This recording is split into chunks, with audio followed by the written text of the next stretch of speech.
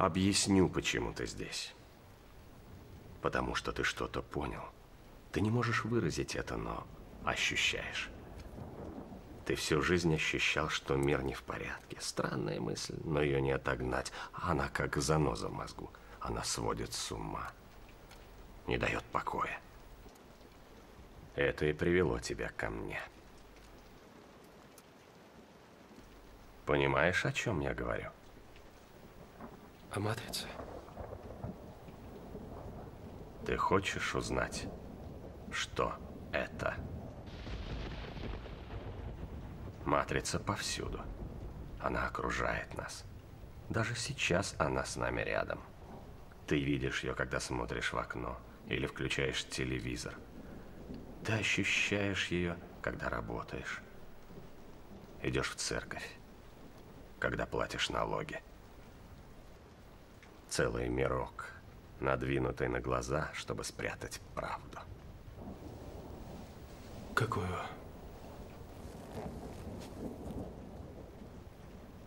что ты только раб, Нео.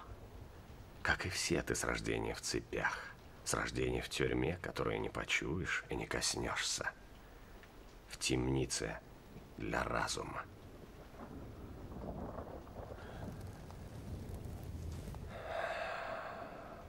Увы, невозможно объяснить, что такое матрица. Ты должен увидеть это сам.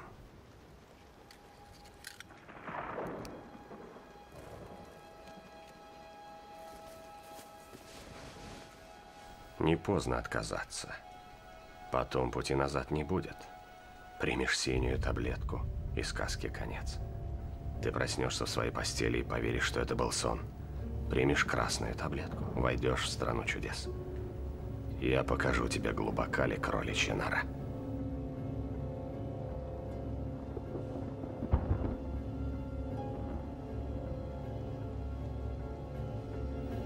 Помни, я лишь предлагаю узнать правду, больше ничего.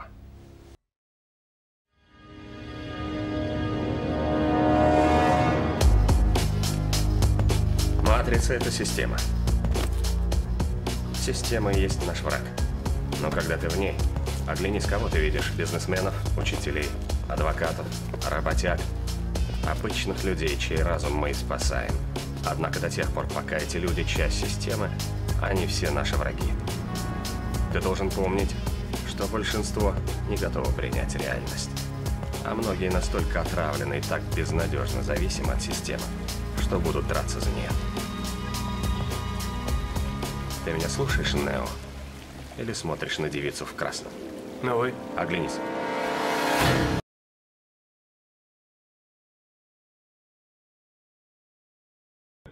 Понимаешь, люди часто сами не знают, чего хотят, пока не начнешь им показывать это постоянно.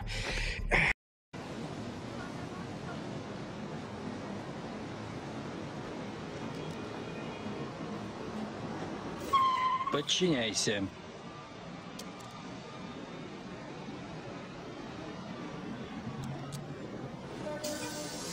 Подчиняйся.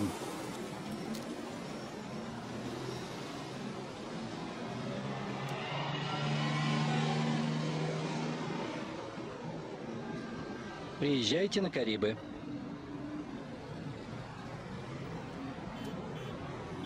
Женитесь и размножайтесь.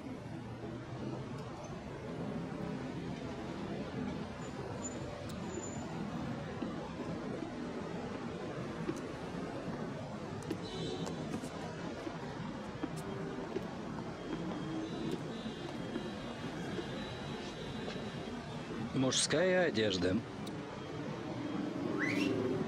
Никаких независимых мыслей. Потребляйте.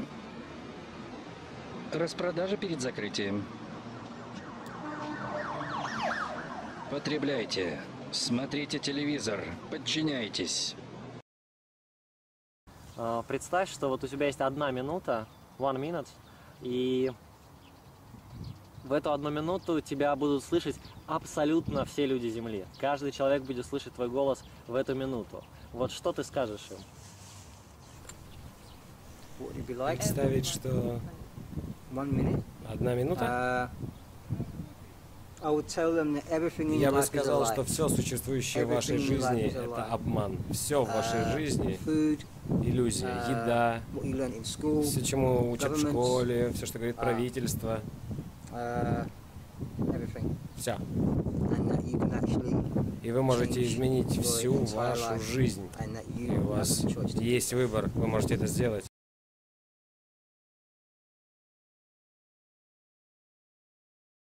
Миллиард лет назад нам была дарована жизнь. И как мы ей распорядились?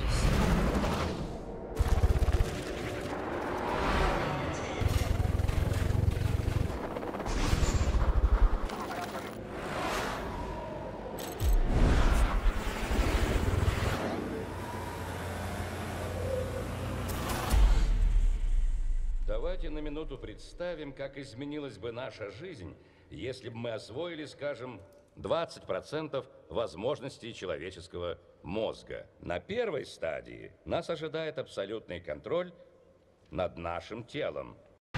You don't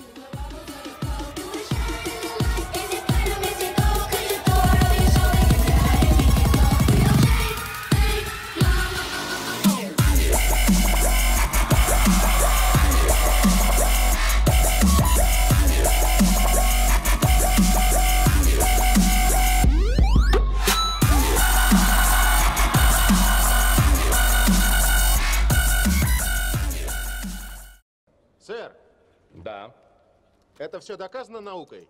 на данный момент это всего лишь гипотеза, не стану лукавить. Но вы представьте себе, ведь страшно подумать, но древние греки, египтяне и индийцы знали о существовании клеток за много столетий до изобретения микроскопа.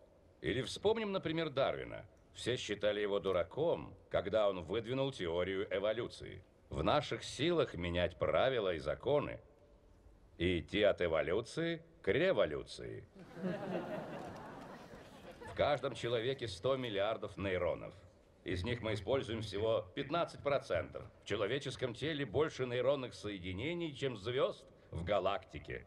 Мы носим в себе гигантскую информационную сеть. Но доступа к ней у нас практически нет. Сэр, Да. какой будет вторая стадия? Вторая стадия вполне возможна, это контроль над другими людьми. Но для этого необходимо освоить как минимум 40% возможностей мозга. После контроля над собой и над другими последует управление материей.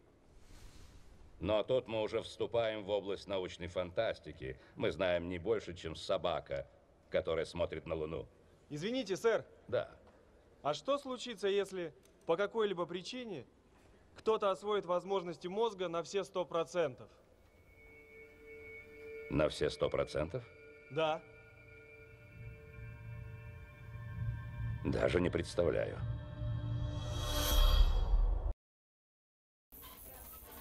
Невероятно. Я не чувствую боли, страха, желаний. Все, что делает нас людьми, постепенно исчезает.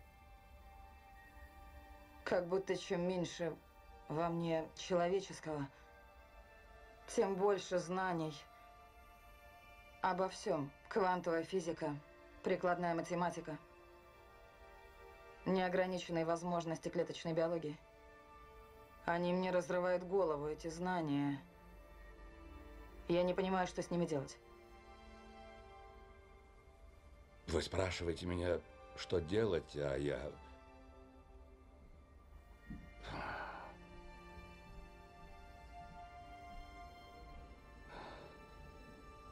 Вот что. Подумайте о природе жизни, о том, что было в самом начале, когда зародилась первая клетка. Она разделилась на две клетки. Весь смысл ее жизни был в том, чтобы передать все свои знания, и не было никакой высшей цели. Вы спрашиваете меня, что же делать вам со всеми этими знаниями? Передайте их. Это единственный способ для клетки преодолеть время. Время.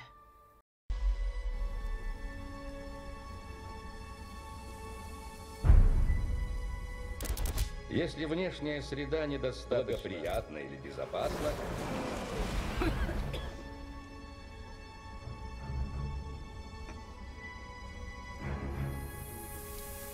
клетка выбирает бессмертие.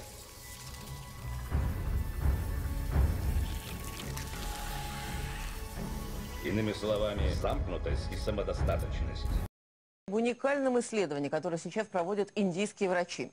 Они проводят обследование пожилого мужчины, который уверяет, что последние 70 лет ничего не ел и не пил. Медики относятся к его словам вполне серьезно, так как уже несколько дней он постоянно находится у них на глазах в одном из индийских госпиталей. Сейчас врачи изучают своего пациента, чтобы выяснить, можно ли научить других обходиться без воды и пищи.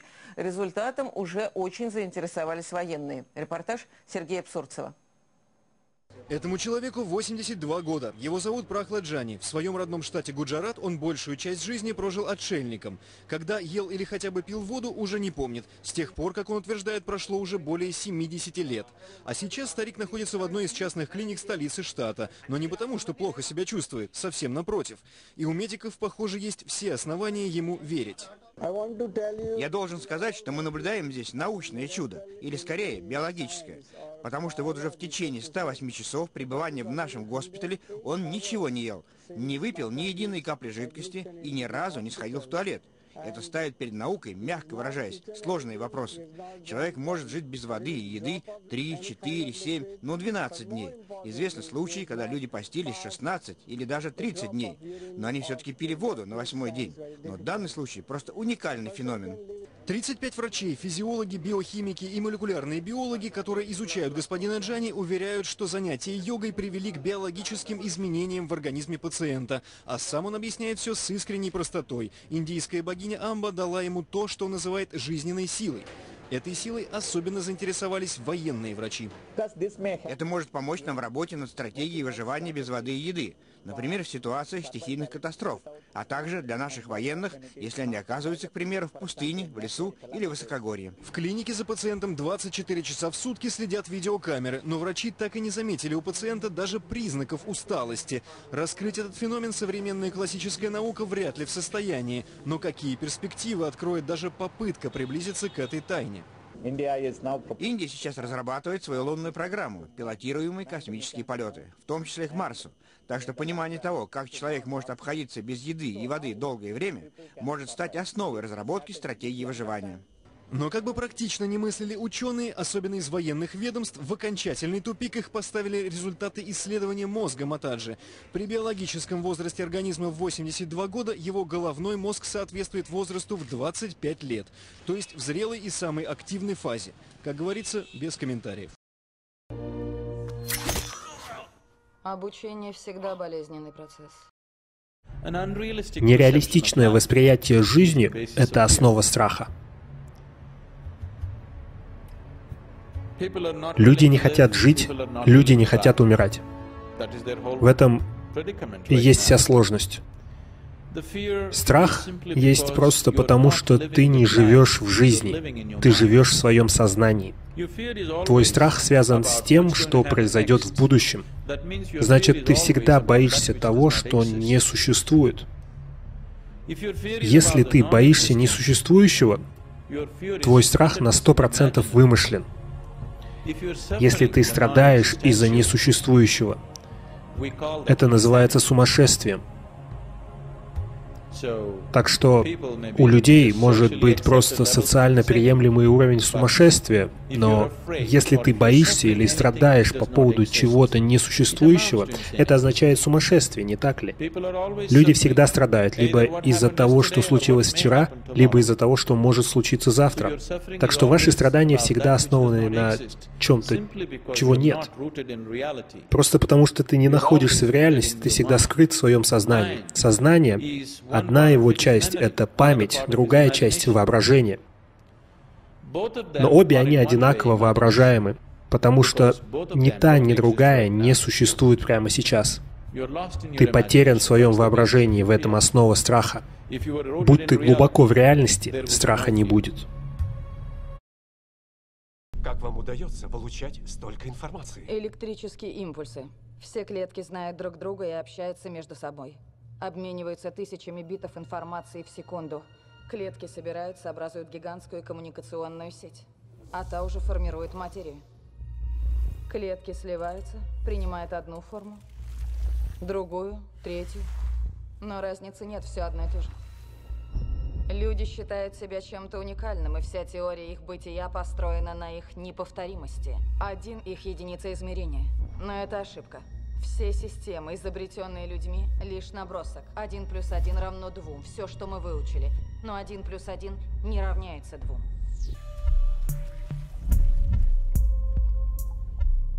Нет вообще никаких чисел и никаких букв.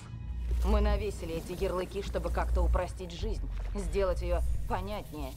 Мы придумали шкалу измерений, чтобы забыть о нашей неизмеримости.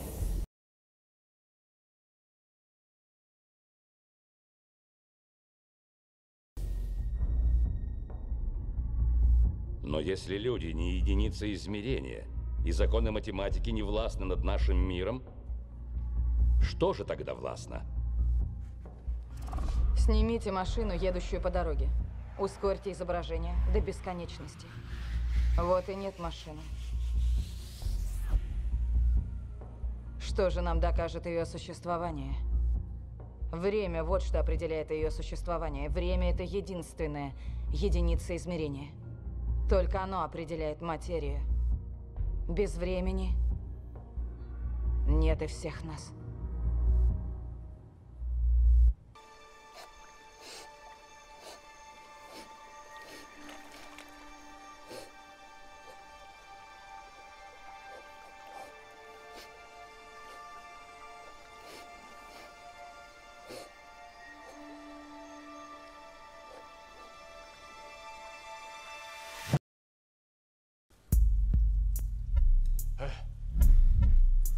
Где она? Я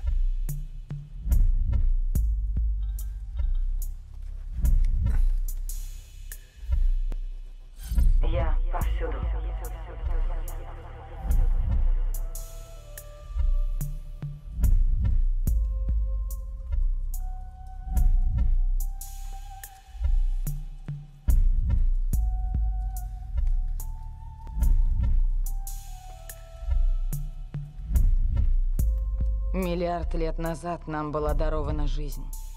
Теперь вы знаете, что с ней делать.